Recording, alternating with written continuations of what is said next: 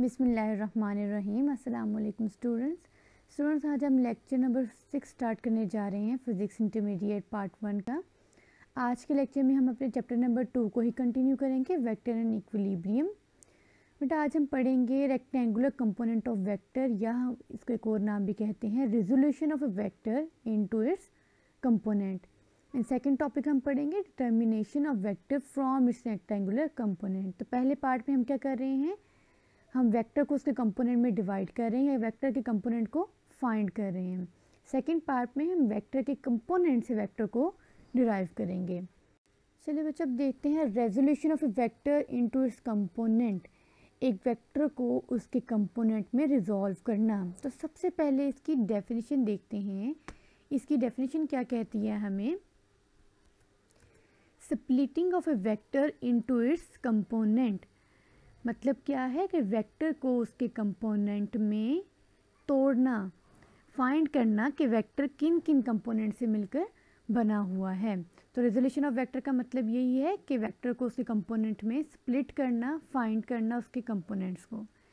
अब वेक्टर के ज़्यादा से ज़्यादा तीन कंपोनेंट हो सकते हैं। हमने अपना रेक्टेंगुलर कोऑर्डिनेट सिस्टम पढ़ा, हमने टू डी में पढ़ा है, हमने थ्री डी में पढ़ा है। टू डिमेंशन में इसके दो कंपोनेंट होते हैं एक्स एंड वाई अगर हम थर्ड डायमेंशन में जाएँ तो वेक्टर कंपोनेंट होते हैं एक्स वाई एंड जी तो मैक्सिमम जो वेक्टर कंपोनेंट है वो थ्री हो सकते हैं और मिनिमम इसका एटलीस्ट एक कंपोनेंट वेक्टर का होना ज़रूरी है।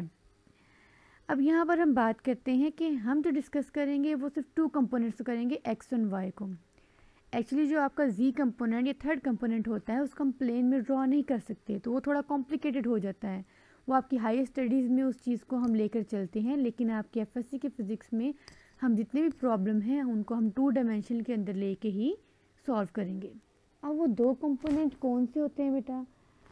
एक कंपोनेंट होता है आपका एक्स एक्सिस के along one of the component is a along X axis एक कंपोनेंट एक्स एक्सिस के ऊपर होता है, जिसको हम कहते हैं हॉरिजॉन्टल कंपोनेंट और जो दूसरा कंपोनेंट आपका होता है is a along Y axis वो वाई एक्सिस के ऊपर होता है, उसे हम कहते हैं वर्टिकल कंपोनेंट अब ज़रूरी नहीं है आपकी आगे स्टडीज़ में जाकर कि एक्स और वाई कंपोनेंट का इनको नाम ही दिया जाए।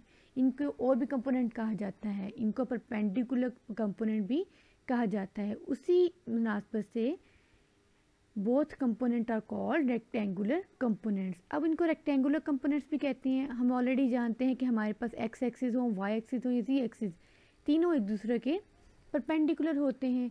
तो इसलिए हम इन कंपोनेंट को रेक्टेंगुलर कंपोनेंट भी कह सकते हैं because they are at right angle to each other ये एक दूसरे के साथ 90 डिग्री का एंगल बनाते हैं।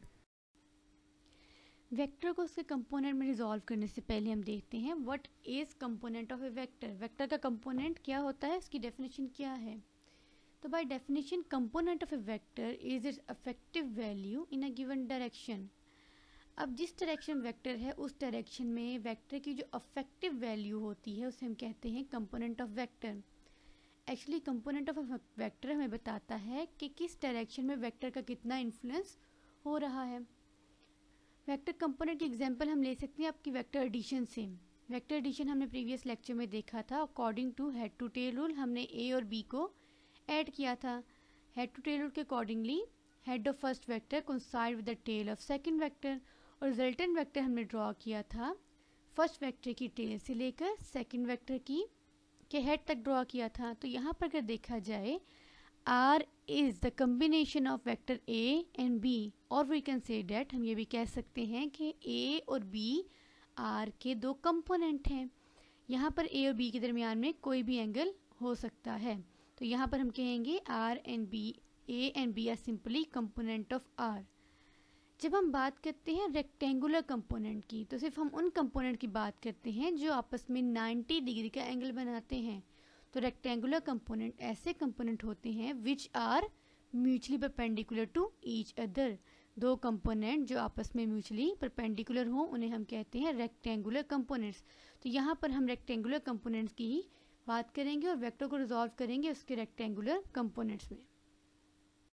चलिए स्टूडेंट अब देखते हैं हम वेक्टर को उसके कंपोनेंट में कैसे रिजॉल्व कर सकते हैं, कैसे वेक्टर के कंपोनेंट की वैल्यू फाइंड कर सकते हैं। तो उसके लिए हम एक वेक्टर की एग्जांपल लेते हैं। हम एक्स और वाई एक्सिस लेंगे, यहाँ थ्री थ्री थर्ड एक्सिस नहीं लेंगे। अब यहाँ पर हमने वेक्टर ए ड्रॉ किया है, जिसको हम directed line segment O P के साथ डिनोट कर रहे हैं। अब ये जो वेक्टर आपका एक्स एक्सिस के साथ एंगल बना रहा है, उसको हम एंटी क्लॉकवाइज डायरेक्शन में लेंगे। बाय कन्वेंशनली हम यही कहते हैं कि एंगल आपका लेते हैं पॉजिटिव एक्स एक्सिस से इन एंटी क्लॉकवाइज डायरेक्शन ये आपकी कन्वेंशन है, आपने इसी को हमेशा ओबे करना है।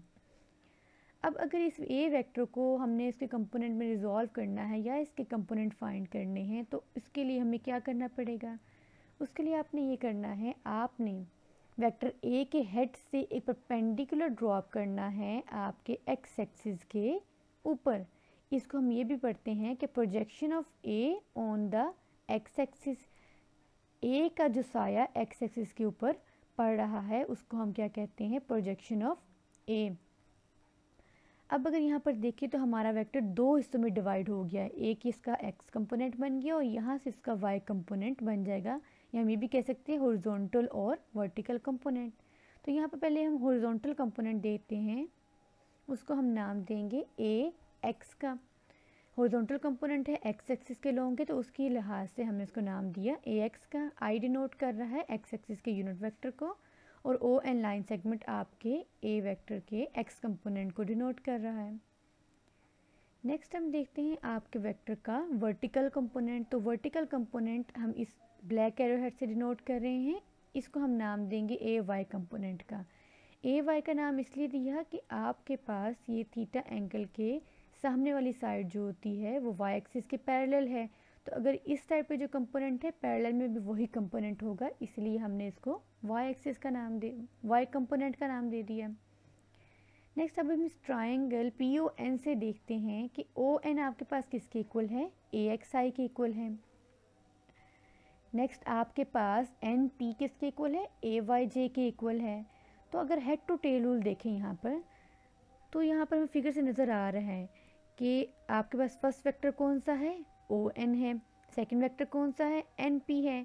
तो अगर हम हेड टू टेल रूल से देखें तो ये यहाँ पर वेक्टर एडिशन बन रही है। एक्स और वाई कंपोनेंट का। First vector the head of first vector coincide with the tail of second vector resultant vector क्या होता है आपको बेटा? फ़र्स्ट वेक्टर की टेल से लास्ट वेक्टर या सेकंड वेक्टर के हेड तक। तो यहाँ पर head to tail rule apply हो रहा है तो वह हम अप्लाई करेंगे।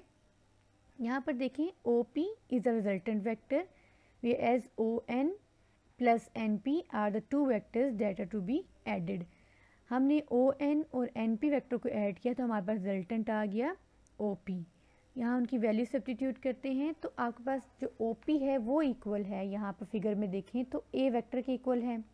और अगर हम बात करें ओ एन की तो वो इक्वल है ए एक्स के। और एन पी की बात करें तो आपके ए वाई कंपोनेंट के इक्वल है तो यहाँ से अगर हम देखें तो आपके वेक्टर के दो कंपोनेंट्स निकल आए हैं एक एक्स डायरेक्शन में और एक वाई डायरेक्शन में तो हम कह सकते हैं वेक्टर के A X and A Y are the component of the vector A. Ax is the horizontal component of vector A and Ay is the vertical component of vector A. चलिए बेटा, अब हम फाइंड करते हैं आपके x और y component की values उसके लिए हम अपनी प्रीवियस फिगर ही लेंगे, जिसके अंदर हमने देखा था कि आपके एन के ऊपर राइट एंगल बन रहा है तो इस फिगर को हम राइट एंगल ट्राइंगल भी कह सकते हैं। राइट एंगल ट्राइंगल में आपको पता है कि तीन चीज़ें, तीन साइड इन्वॉल्व होती हैं। बेस हाइपोटेन्यूस एंड परपेंडिकुलर तो इस फिगर में आपके पास बेस क्या है? ओ एन बेस है आपके पास। थीटा के सामने वाली साइड क्या होती है? वाई एक्सिस होती है। एन पी क्या हो गया आपके पास? वाई एक्सिस और स्लोप को हमने वेक्टर ए का नेम दे दिया। अब यहाँ पर अगर हम थोड़ी सी अपने टिग्नोमेट्रिक रेशियोज़ को रिवाइज करते हैं पहले तो टिग्नोमेट्रिक रेशियोज़ आपके पास थे, एक sine theta and cos theta six होते हैं बेसिकली तो हम यहाँ पर ये दो ही भी इस्तेमाल करेंगे। साइन थीटा आपके पास इक्वल होता है परपेंडिकुलर और हाइपोटेन्यूज तो अगर आपकी फिगर में देखें परपेंडिकुलर आपके पास इक्वल है एन पी के और आपका हाइपोटेन्यूज इक्वल है ओ पी के तो यहाँ पर इसी तरह कोसीटा देखें। कोसीटा होता है बेस डिवाइडेड बाय हाइपोटेन्यूज। तो बेस आपके पास ओ एन है और परपेंडिकुलर या स्लोप आपके पास ओ पी है। बेटा इन रेशियोज़ को याद करने के बहुत से तरीके होते हैं। आप इनको इस तरह समझ कर याद कर सकते हैं या थोड़े से शॉर्टकट भी होते हैं। कुछ बच्चों ने कुछ वेल इक्वेशंस याद की होती हैं इंग्लिश के सेंटेंस याद किए होते हैं। For example some people have curly black hair कुछ इस टाइप की फन फनी सी स्टेटमेंट हैं जो आपके जहन में रह जाती हैं। तो बेटा, जो सा मर्ज़ी तरीका आप यूज़ कर लें, लेकिन आपको ये रेशियोज़ थोड़े से ज़ुबानी पता होने चाहिए। नेक्स्ट चलते हैं, आपके एक्स कंपोनेंट की वैल्यू निकालते हैं। तो एक्स कंपोनेंट की वैल्यू निकालने के लिए हम कोस थीटा का रेशियो यूज़ करेंगे। अब कोस थीटा क्या कहता है? कोस थीटा कहता है बेस डिवाइडेड बाय हाइपोटिन्यूस आपकी फिगर में देखा जाए तो बेस ओ एन है और आपके पास स्लोप या हाइपोटिन्यूस है, वो पी है। इनकी वैल्यूज़ हम यहाँ पर पुट करते हैं O N equals to A X from your figure and O P equals to vector A का मैग्नीट्यूड यहाँ पर लेंगे इक्वल्स टू ए यहाँ पर हम एक्स कंपोनेंट का मैग्नीट्यूड निकाल रहे हैं। तो नेक्स्ट हम देखते हैं आपकी ए एक्स कंपोनेंट की वैल्यू सिंपली आपने इस इक्वेशन को रीअरेंज करना है तो आपके पास वेक्टर के एक्स कंपोनेंट का मैग्नीट्यूड आ जाएगा यहाँ पर। नेक्स्ट हम देखते हैं वाई कंपोनेंट की वैल्यू वाई कंपोनेंट या वर्टिकल कंपोनेंट की वैल्यू निकालने के लिए हम साइन थीटा का रेशियो यूज़ करेंगे। साइन थीटा कहता है परपेंडिकुलर डिवाइडेड बाय हाइपोटेन्यूज अब पेंडिकुलर आपकी फिगर में है. N P that is equal to A Y Y component of vector A और divided by O P slope है आपके पास, जो वेक्टर ए के मैग्नीट्यूड के इक्वल है। तो नेक्स्ट हम देखते हैं इनकी values N P equals to A Y O P equals to A इस इक्वेशन को रीअरेंज करें तो यहाँ आपके पास कंपोनेंट आ गए एक्स और वाई कंपोनेंट के मैग्नीट्यूड आ गए। अब बेटा ये इक्वेशन तब तक, ये आपके पास इक्वेशन तब तक वैलिड रहती हैं जब तक आप अपने एंगल को एक्स एक्सिस से मैयर करते हो, तब तक ही, तब तक ही आपकी इक्वेशन वैलिड रहेंगी। तो बच्चों, कई दफ़ा आपको वेक्टर की डायरेक्शन फाइंड करने को कहा जाता है यूजिंग कंपोनेंट ऑफ़ वेक्टर तो यहाँ पर हम वेक्टर की डायरेक्शन फाइंड करेंगे, हम रेक्टेंगुलर कंपोनेंट से ही फाइंड करेंगे।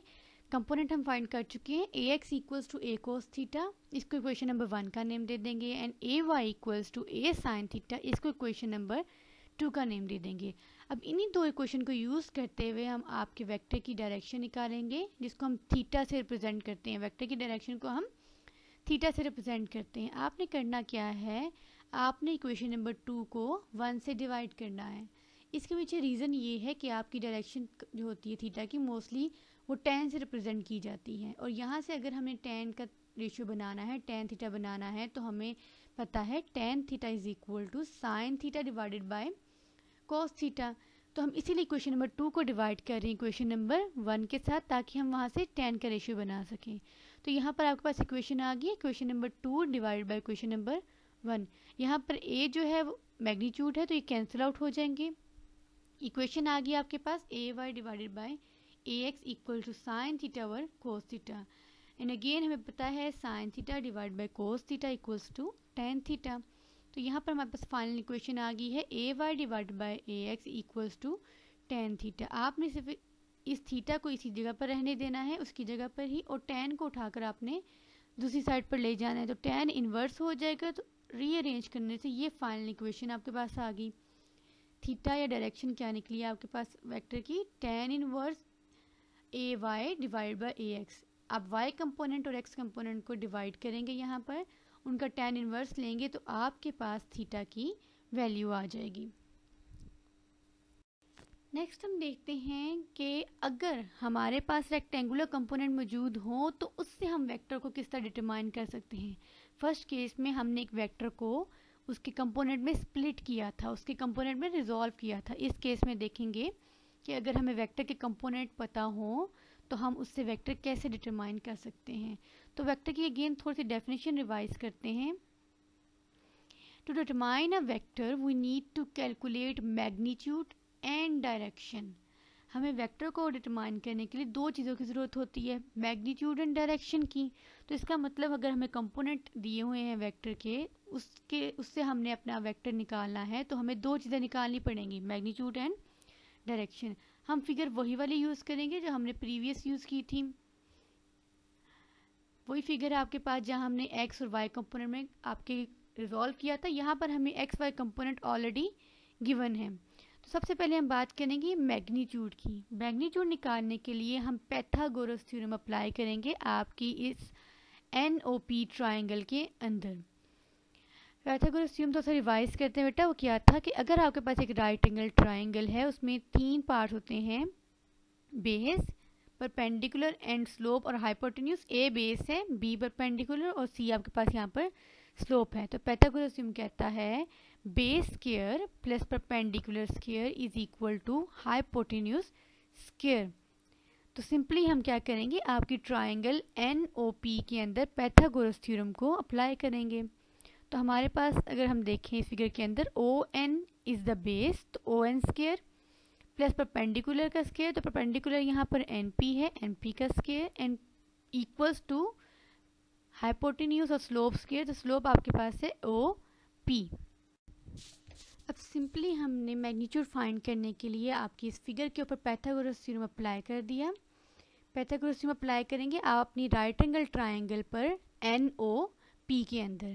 तो एन ओ पी के अगर अंदर देखें, हमने पैथागोरस थ्योरम अप्लाई किया। O N square plus N P square equals to O P square that is equal to base square plus perpendicular square equals to hypotenuse square अब यहाँ पर इनकी वैल्यूज़ पुट कर देंगे। हमें पता है कि O N from the figure is equal to A X component जो ऑलरेडी हमें मौजूद है। इस केस में हमें वेक्टर के कंपोनेंट मौजूद हैं। या हमें पता है उनके कंपोनेंट का। हमने वहाँ से वेक्टर को डिटरमाइन करना है।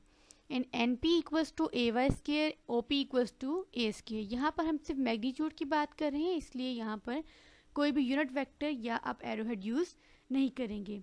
आपने इस इक्वेशन को एक के लिए सॉल्व करना है बिकॉज़ हमने बताया था मैग्नीट्यूड को शो करवाते हैं सिंपल वेक्टर के लेटर से या उसके मोड से। तो यहाँ पर ए की वैल्यू फाइंड करने के लिए हमें ए के ऊपर से स्केयर हटाना पड़ेगा। तो आपने करना है taking square root on both side तो स्केयर रूट बोथ साइड पर लेने के बाद आपके पास फाइनल इक्वेशन ये आ गई है। इस इक्वेशन को यूज़ करते हुए आप किसी भी वेक्टर का मैग्नीट्यूड फाइंड कर सकते हैं। अगर वेक्टर के तीन component for example X Y और जी देन हम तब भी फाइंड कर सकते हैं। देन मैग्नीट्यूड क्या होगा? A X square plus A Y square plus A Z square whole under root तो आप इस इक्वेशन को यूज़ कर सकते हैं to find the magnitude of any vector next direction find करने के लिए हम टेन का रेशियो यूज़ करेंगे। तो टेन थीटा हम किसके इक्वल होता है? Is equal to perpendicular divided by base again वही ट्राइंगल यूज़ करेंगे N O P triangle perpendicular is equal to N P N आपके पास जो बेस है is equal to O N उनकी वैल्यूज़ हम पुट करेंगे. N P is equal to A X divide by A Y तो आपके पास थीटा की वही वैल्यू आ गई जो हमने पिछले केस में निकाली थी. तो डायरेक्शन फाइंड करने के लिए आप सिंपली टेन थीटा का रेशियो अप्लाई करेंगे अपनी फिगर के ऊपर राइट एंगल ट्राइंगल के ऊपर. चलिए स्टूडेंट्स अभी तक हमने देखा कि एक वेक्टर को उसके कंपोनेंट में कैसे रिजॉल्व करते हैं या वेक्टर के कंपोनेंट में पता हो तो उनसे वेक्टर को कैसे डिटरमाइन करते हैं। नेक्स्ट हम देखते हैं एक छोटा सा कॉन्सेप्ट है आपका पोजीशन वेक्टर का। ये न्यूमेरिकल के लिए बहुत इंपॉर्टेंट है। कोई भी पॉइंट आपको गिवन हो तो आप उसका पोजीशन वेक्टर फाइंड कर सकते हो। इसकी डेफिनेशन क्या है? It is use it use to represent the और describe the location of a point with respect to origin इसको हम आर से डिनोट करते हैं and it is represented by straight line that is drawn in such a way that tail coincide with the origin and head with the point that is to be represented but इसको थोड़ा सा explain करते हैं। हमारे पास कोई भी एक point है स्पेस के अंदर, उसकी पोजीशन हम रिप्रेजेंट करना चाह रहे हैं कि वो कहाँ पर लोकेट करता है। तो उसके लिए सबसे पहले हम कंसीडर करेंगे एक रेक्टेंगुलर कोऑर्डिनेट सिस्टम यहाँ पर हम टू सिस्टम ले रहे हैं, आपका एक्स एंड वाई सिस्टम तो हमें सबसे पहले यहाँ पर डेफिनेशन में आए तो हमने क्या किया है? Tail coincide with the origin definitely हमने कहा है कि इस पॉइंट की हम लोकेशन बता सकते हैं विद रिस्पेक्ट टू ओरिजिन तो हम यहाँ से क्या करेंगे? ओरिजिन से उस पॉइंट तक एक वेक्टर ड्रॉ करेंगे। ठीक है? वही पॉइंट है. Tail coincide with the origin and head with the point A and B यहाँ पर ए और बी पॉइंट जो हैं, ये कंपोनेंट हैं इस पोजीशन वेक्टर के। ओरिजिन आपका ओ है वेक्टर आपको कोई भी प्रेजेंट कर सकते हैं, आपने वेक्टर को आर से प्रेजेंट कर दिया है। अब, यहाँ पर हम देखेंगे what is A and what is B A क्या है बेटा? ए वो डिस्टेंस है जो आपने एक्स एक्सिस के लॉन्ग कवर किया है पॉइंट पी तक पहुँचने के लिए और बी वो डिस्टेंस है जो आपने वाई एक्सिस के लॉन्ग कवर किया है पॉइंट पी तक पहुँचने के लिए। तो पोजीशन वेक्टर क्या है? पोजीशन वेक्टर हमें बताता है किसी भी वेक्टर की location with respect to origin next हम देखते हैं कि टू डायमेंशन स्पेस में हम पोजीशन वेक्टर की वैल्यू किस तरह से लिखते हैं तो हम इसको लिखेंगे एक्स और वाई की टर्म में। तो हमें पता है कि एक्स के लिए कौन सा यूनिट वेक्टर यूज़ होता है? आई एंड वाई के लिए यूनिट वेक्टर यूज़ होता है जे तो फॉर एग्जांपल यूनिट वेक्टर जो हमने पिछली स्लाइड में पढ़ा है, उसको हम लिख सकते हैं R unit vector is equal to A I plus B J यहाँ पर आई बता रहा है कि ए कंपोनेंट एक्स की डायरेक्शन में है और बी जे बता रहा है बी कंपोनेंट आपका वाई की डायरेक्शन में है। मैग्नीट्यूड हम फाइंड कर चुके हैं। मैग्नीट्यूड हमें पता है आपका X component square plus Y component square अगर थ्री डायमेंशन की बात करें तो आपके पास तीन वेक्टर आ जाते हैं। X, Y and Z. तो थ्री डायमेंशन में आपके पास वेक्टर के तीन कंपोनेंट आ जाएँगे, पोजीशन वेक्टर के A B and C A is X component. Second आपका वाई कंपोनेंट होता है। थर्ड आपका हमेशा जी कंपोनेंट हम लेते हैं। लिखेंगे कैसे इसको? A I plus B J plus C K तो अगर कोई पॉइंट आपका थ्री डायमेंशन के अंदर है तो उसके तीन कंपोनेंट होंगे। और अगर आपका पॉइंट कोई भी पॉइंट या कोई भी वेक्टर आपका टू डायमेंशन स्पेस के अंदर है तो उसके दो कंपोनेंट होंगे। आपके मैग्नीट्यूड के लिए सेम वही इक्वेशन रहेगी एक्स कंपोनेंट का स्केयर प्लस वाई कंपोनेंट का स्केयर प्लस जी कंपोनेंट का स्केयर ओवरऑल अंडर रूट हम देखें, अगर मैग्नीट्यूड के अंदर हमने यूनिट वेक्टर को नहीं लिया यूनिट वेक्टर हमें डायरेक्शन को बताता है, इसलिए मैग्नीट्यूड के अंदर वो इंक्लूडेड नहीं होंगे। मैग्नीट्यूड में सिर्फ़ आपके पास न्यूमेरिकल वैल्यू और यूनिट्स इंक्लूडेड होते हैं या सिर्फ़ हम कह सकते हैं आपके कंपोनेंट का मैग्नीट्यूड प्रेजेंट होता है। चलिए बच्चे, आज के लिए इतना ही काफ़ी। नेक्स्ट टाइम मिलते हैं न्यू लेक्चर के साथ। इनशाला एंड अल्लाह हाफिज़। Thank you